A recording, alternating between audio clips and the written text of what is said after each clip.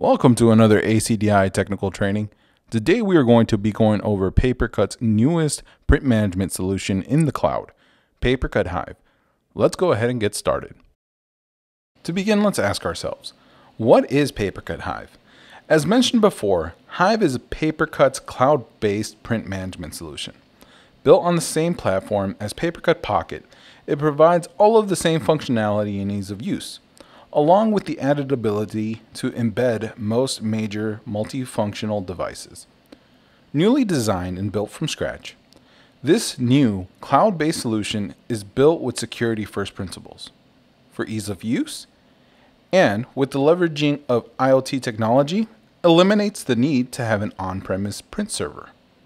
And now that you know what PaperCut Hive is, you may want to ask yourself, who is PaperCut Hive for?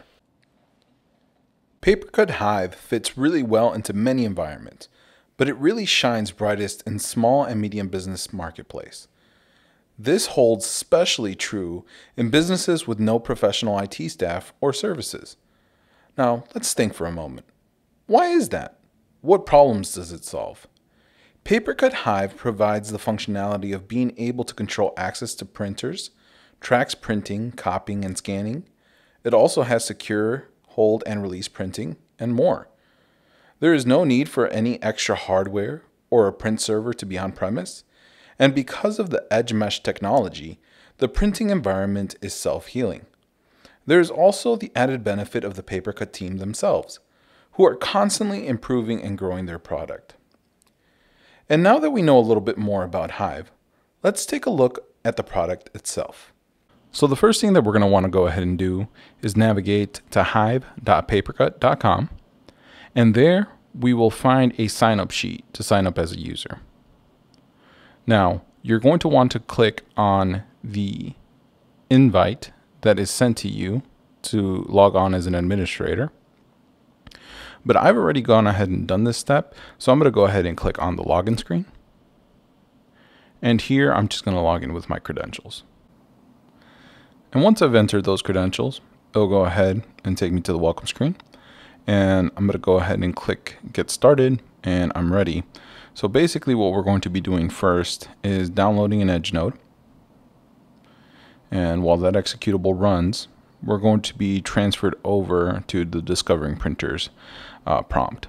Now, automatically on standard mode, it's just going to be looking for printers in your subnet, but we can go into expert mode and I know the subnet where our printers are at already. So I'm going to go ahead and enter in that um, subnet uh, with the forward slash 24 so that I could see everything within um, that 255, 255, 255.0 mask. And I'm going to click update there. Now, it does normally take a little bit of time in order for those printers to be discovered, especially on bigger networks. So I'm going to go ahead and run the executable while we're waiting for some of the printers to get discovered. Now, luckily, there is nothing too complicated on this executable. Uh, so when we're installing an edge node, we can basically next through most of the prompts and it will go ahead and finish updating in the background. So once the installer finishes running, the window will go ahead and disappear and we can circle back to our printer discovery and see if any printers have been found. So after we give it some time, we'll see that the count of discovered printers goes up. So once we get to a good point, I'll go ahead and hit continue. And here we see that we're going to send our first invitation to ourselves. Um, now this is just a generic email that we use to set up an admin account. So I'm going to go ahead and type in my email account and I'm going to send it directly to myself.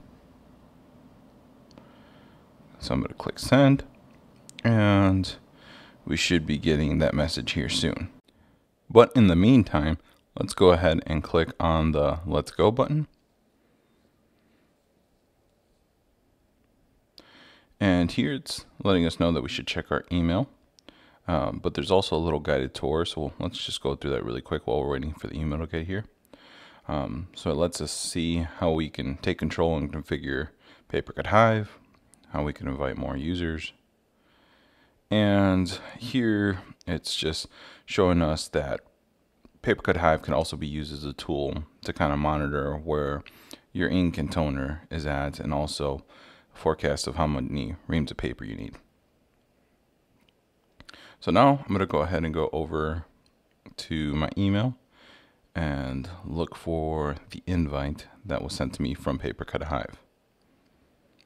And here's the email that I got. And as you can see, there's a QR code for identity. There's also my access code there. But I'm going to click Get Started. And here's telling me to go ahead and download the PaperCut Hive Edge node. So I'm going to go ahead and download that and run through the installer. Again, there's nothing special with this installer. Just run through it. Once it finishes installing, I'll go ahead and prompt us to download the app on our phone. Now I had done this previously, so it looks like I had downloaded it, but I'm going to show you what that process looks like. So just open up the camera on your phone. We scan the code, click on the link, and hit install either on uh, the Play Store or the uh, Apple App Store, just depending on what phone system you have. And here it's downloading Hive. We're going to go ahead and open it and it should just say, hey, let's allow notifications, uh, give it the proper permissions, hit continue, and there you go. We're complete. And now what we have to do is print something. So let's take a look at how to print. Just depending on your operating system, you're going to get different prompts on how you will be able to print as a user. So I'm going to go ahead and print a simple job. And as you notice, we now have a PaperCut printer uh, print queue. Um, I'm going to change this to one page and hit print. Uh, just keep in mind that when you're using Hive, you're going to want to use that PaperCut printer print queue to send all of your jobs. So back to the phone. Now we should be able to see the job in our queue. And I'm going to go ahead and tap on this print job. And as you can see, there's certain features on here and certain pieces of information but I'm just going to click on print and then on the list of printers I'm going to choose a print queue that's really close by me that uh, C3320 is close. So I hit print and it says it's all done and as you can see it's printing and printing successfully. And going back to the PaperCut Hive web interface I'll go ahead and click on that. If we go to our job log uh, well, let me go ahead and click close here. Oh, well, before I even able to click close, the job shows up. Um, so we know we're good. And when we click close, as you can see, since the job has showed up, we have a little celebratory screen from PaperCut. So now that we've printed successfully, let's go ahead and click on the home button and start looking at the dashboard. Um, so here, as you can see on the header, we have trends that we'll be able to see, breakdown of network and environment. Further on down, we have forecasts where we'll be able to see how many reams of paper and toner we're projected to use. We also have top user activity, top printer activity. Also, which print jobs have been secured, the savings that we've done, and print convenience information. Now if we scroll back up, on the top right hand corner, we'll have more settings. Here, for example, on the profile, we can change the company name or organization name. Uh, right now it says not for sale demo. I'm just going to go ahead and highlight that, change that to ACDI demo. So you can see it's pretty simple to do that. Also, if I need to invite another administrator, for example, if I want my personal email to for me to be able to access it as an administrator, I'm going to go ahead do that. Um, here I'm going to add a differentiator though. Uh, I'm going to put plus ACDI demo so that I know that this is for the ACDI demo uh, instance of Hive. So I'm going to go ahead and send that invitation and I should be able to receive that invitation and now log in with that email. And you could also see the different statuses of when you last logged in or if you've ever logged in. We also see terms of service, contact support, what's new, you know, so what has just come out, also what's going to come out next, so things to look out for. Also on the drop down, we have demo mode for the new tab. So if you ever needed to show demo information to any of your customers, you would be able to open that up and kind of use that as an example instead of showing them your production environment, especially if you know you don't have any information on your production environment yet. Um, but going back here, we are also able to log out with those options in the top right hand side and language selection for the future. So now let's go ahead and take a look at configuration. So we have print security, reduce waste, easy printing. Under print security, we have three different breakdowns before printing, then during printing, and after printing.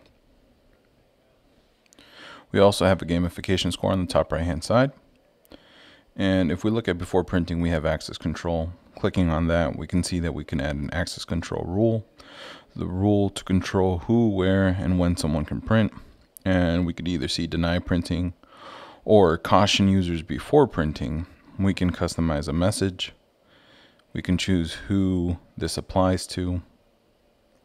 All users, selected users, users, all users, but also we can choose all printers or selected printers and we can choose what times, you know, and we have a slider here too that will allow us to choose different times. We have also the remove button, the done button, and the add rule. And of course, once we're done, we can save changes or cancel. Moving on, we're going to go ahead and take a look at secure print release. Here, uh, basically mobile release options, choose how users can securely release from any printer. And basically there's four options. Choose from a list, uh, scan a QR code, NFC chip, and then also release code. Um, and we'll go over that a little bit more later but for now cancel and we'll go ahead and move on to printing errors here we'll see alert to prevent printing to a problem printer so avoid printing when a printer is an error let's minimize use of inconvenience and reduce the chance of documents being accidentally collected by someone else when there is an error to be fixed so we can choose off uh, we can choose to warn the user or completely stop the user from being able to print also, we can customize the message, reset this to default. Again, we could save the changes or hit cancel. Now moving on to privacy and compliance. Uh, basically thumbnail visibility here. Uh, basically who could see it, admin and users, only the user that printed it, or no one. So just depending on your company policy. I'm gonna go ahead and hit cancel. So now we're gonna go over to watermarking and digital signatures. And under watermarking, if we turn that on, we'll see that certain short codes are going to be available to insert into the text of the watermarks. Also digital signatures, if you haven't worked with that before, basically it says this is unique signature that can be searched for in the print log to validate who printed a job, when and where. Uh, so basically this is a visible watermark, um, but it basically just has user information on there. And we could also choose how that information gets encrypted on the logs. Also under options, we can choose different options for the watermark and digital signature.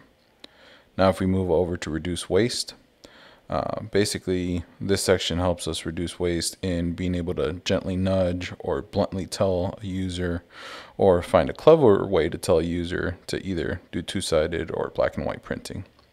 Um, so for gentle promote two-sided, if we turn that on, we have a slider that lets us decide how often we're going to nudge or suggest it to the customer. Uh, have a set amount of pages of when we suggest it. We can also customize the message. Also here have sh short codes available. I'm going to go ahead and hit cancel. And you're going to see here in black and white, it's going to be just the same as in the two-sided promoted slider for how often, how many pages, customized message. Um, and on the blunt one, basically have the analogy of a teacher telling a student what to do, uh, tell our users what to do. Here, if we turn this on, basically on or off, and then whether we do it silently or notify user that we're actually doing this. Um, same thing, going to be in black and white, on and on, silent, or telling. Then we have the clever one, which basically says, hey, if there's too many pages, um, you know, we're going to stop them from printing that, that many pages. Uh, if there's too many copies, then We'll prompt them in the copies, just make sure, hey, do you really want to print this many copies? Same thing for duplicate documents. If it seems like that's not correct. Also, if there's problems when printing or catch uncommon paper sizes, just make sure that that's what the customer wants to do, or the user wants to do, I should say. We also have a gamification score. So as you promote more reducing waste, that will go up. Also under usability, we have manage admins, which we've seen before. We could also customize our welcome message. And if we look at team sign up here, uh, well, before we go into the auto approve, let's go ahead and take a look at the QR codes. Um, so basically, if a user scans a QR code and they haven't been set up, uh, it could prompt something, but we need those QR codes first. So basically, if we want to print those, uh, we can create on create a label, or we could look at the touchscreen ID or QR. So set up digital QR codes. There's also NFC tags if you had writable NFC tags. But let's take a look at these QR labels. So basically, these are things that you could print out and put in, you know, somewhere physically on the devices, and they contain the QR code and the release ID code as well. Um, so when a user scans that, and if we put a domain on here, so for example, my domain is at acd-inc.com, basically you can choose how you're going to approve um, them, but basically you could have them auto approve. So that way the administrator doesn't even have to get involved. We also have the mobile and tablet printing section, which basically addresses iOS printing. And we for iOS printing, we do need a supernode. Um, and that supernode does need to have a static IP address. So that's one thing to keep in mind. Chrome OS already enabled, Android already enabled for printing, but for iOS we do need that Edge node. Uh, now, why is it needed? Uh, let me go ahead and click on that link. So on most operating systems, we have to manage uh, to make things a little bit more intelligent so that they're able to discover print on the edge mesh. iOS is more constrained environment and we need to provide specific entry pointer profile. So that's going to be the reason for the requirement for the supernode on that. Also, we have different hints uh, that are going to be coming soon. Uh, so look out for that. So we also have low toner alerts, which uh, if we enable that, we have a slider that basically will alert depending on when it goes down to a certain level. And we can customize the message, cancel on there. We also have printer ID set up. Um, so again, if we want to create those labels, we're able to do so like we looked at earlier. Uh, auto printer discovery is also going to be how we control printer discovery and when they're published. Um, so there's going to be different settings here as far as how often it's going to be doing that scheduled um, discovery of printers. Um, for the first 24 hours, you know, you might be getting several coming in sporadically, but after that, they'll be more scheduled, and you have control over all of that here. Um, list do not publish by default is going to be our action item. But we are as you could see that there's a lot of coming soon. We could also do discover now if we want to force it so have a different options. Um, but definitely want to visit back once those coming soon options come in. Moving on over to the explore area we see story tree job log activity log. Here if we look at the story tree Basically, it's just going to give you an overview timeline of what you've been doing. Also notice that uh, this gets updated monthly, so right off the bat, you're not going to have much information there. And job log, pretty self-explanatory. Here, we were able to see our jobs that came in. We see the thumbnail. Um, we see some meta information about the print job, who printed it, and when. And activity log is just going to be able to show you what's going on from the web interface of the device when new printers get discovered, uh, when administrators access it, when new administrators get invited, all of that information. So now we can move over to manage and if we see users, printers, edge mesh, and add-ons. So if we go into users, pretty straightforward. We're able to see our user list here, user tile, So if we wanted to invite a user, we have a invite user button there. And here we would be able to type in their email. So I'm just going to go ahead and type in the email for one of my coworkers here. And once I've done that, I can go ahead and send the invite. Now, after the invite is sent, we will be able to see a new tile. And as you can see, it shows pending. Uh, so we'll be able to tell right away once they they have logged in for the first time. Also, if we go back to the invite user section, we can invite multiple users by comma separating the emails. And there are more advanced options with add-ons and, um, you know, auto accepting and all that. Uh, things that we'll look at a little bit here, later here for the add-ons. So moving on over to the printer section. Uh, here on the very top, we can see, you know, alerts, uh, toner notifications. We also see trending printers. We also have a search bar where we can search for printers either through IP address or name. I just happen to know the IP address of this one printer, this Konica. So I'm going to go ahead, for example, rename it to something simpler, KMC3320i. And then see name change. So that's pretty simple. Also, we have details that we can look at. So, for example, the name, we have uh, the IP addresses, uh, more information, last printed, first seen, QR code, NFC, uh, release code for this particular printer. We can also look at the QR code release and um, ID label that we could print out. So if I wanted to print that out, pretty simple, just print it out like you would any other uh, web page. And here we have the QR code, which we'll be using here in a little bit as well. Analytics, uh, now obviously don't have much information going on because it's a brand new environment. We also have apps, full embed app. Uh, so if that's available, it's going to go ahead and walk you through how to do the full embed. We also have light release app. Um, we have instructions there as well. Um, so pretty straightforward there.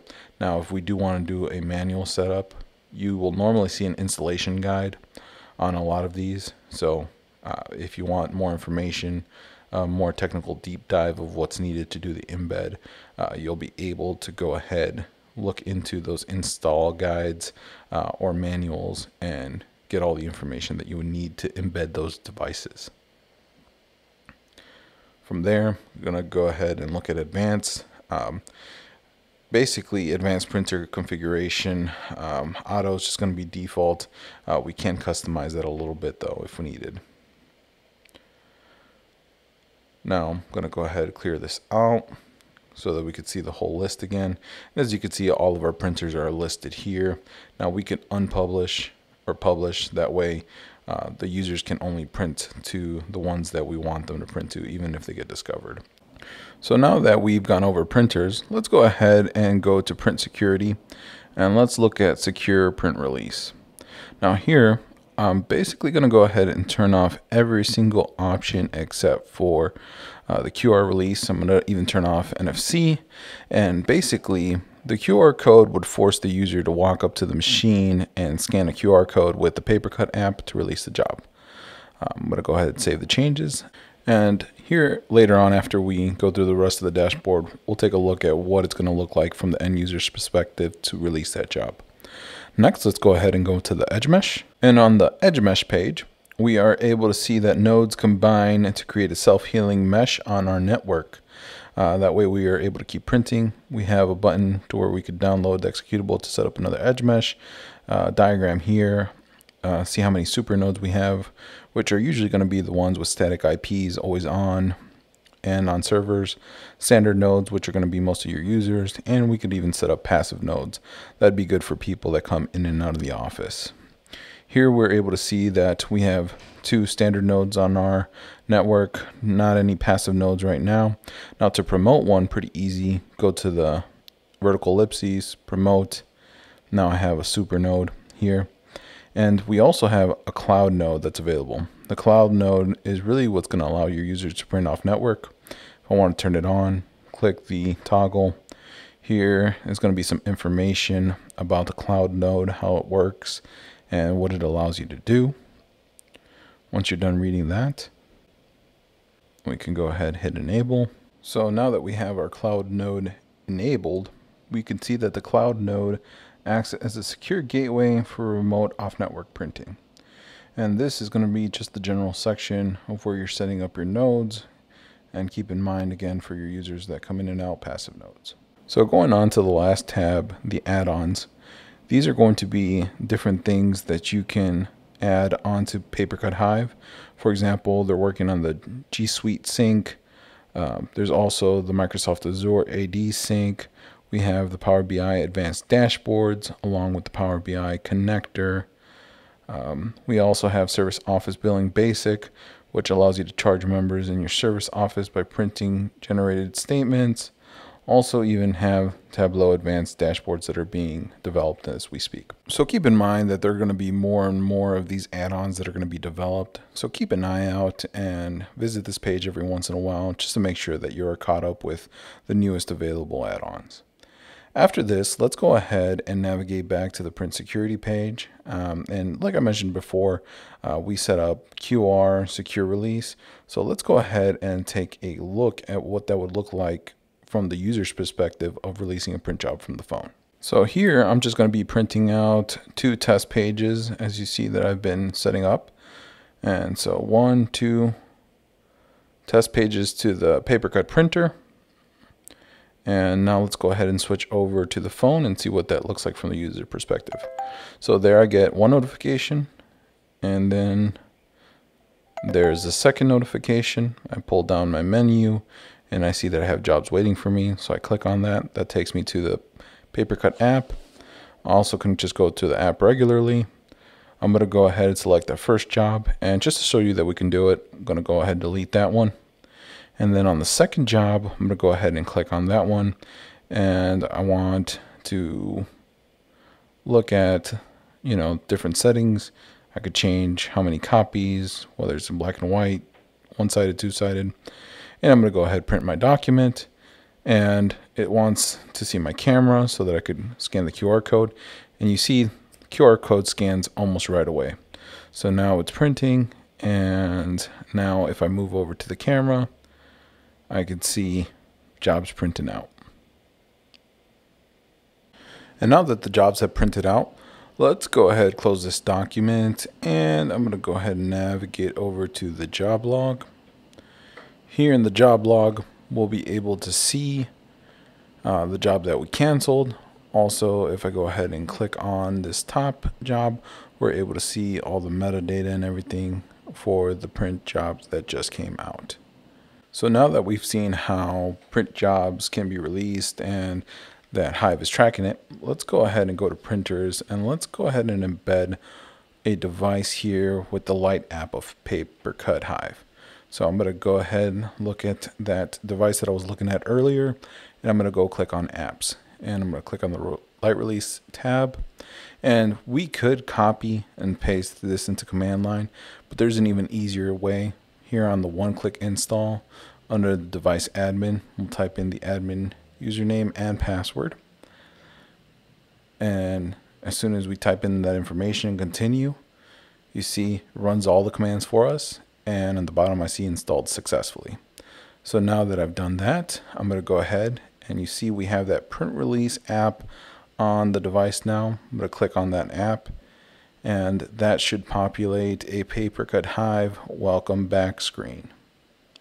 So let's go ahead and jump back to the admin interface. And if we refresh this or get out of this page, let's see. If I refresh this and go back to the device, click on apps. Okay, if I click on the light release app, I see that it's installed now and that it's ready to be used. We could reinstall and install just depending on what we're needing to do from here. And I'm going to go ahead and print another job so that I could release it straight from the MFP. So I'm going to go ahead, click print. And after that, I'm going to go up to the MFP. Now remember, I do need a release code. So I'm going to click on here and just as a reminder, this is the email that I got with my release code access code. So I'm going to go ahead and type in that access code number onto the MFP. And once I go ahead and type that in, I hit the green button to continue. and I'm able to see my job. So pretty simply, click on my job. I can go ahead, print the selected. There you go. And okay, now there's nothing left for me to print. So I can go ahead, log out, and look to the side on this tray. And there my job is, and it has printed successfully. Now going back, look at the job log. Let's just make sure that that is registering correctly. And there it is. All right, and we're able to see all the attributes and everything of that job in here. And with that, we are going to be wrapping up our presentation of Papercut Hive. I'd like to thank you personally for sticking through it and watching this video with us. And as always, please feel free to contact us. All of our information can be found at acd-inc.com. Again, thank you and be well.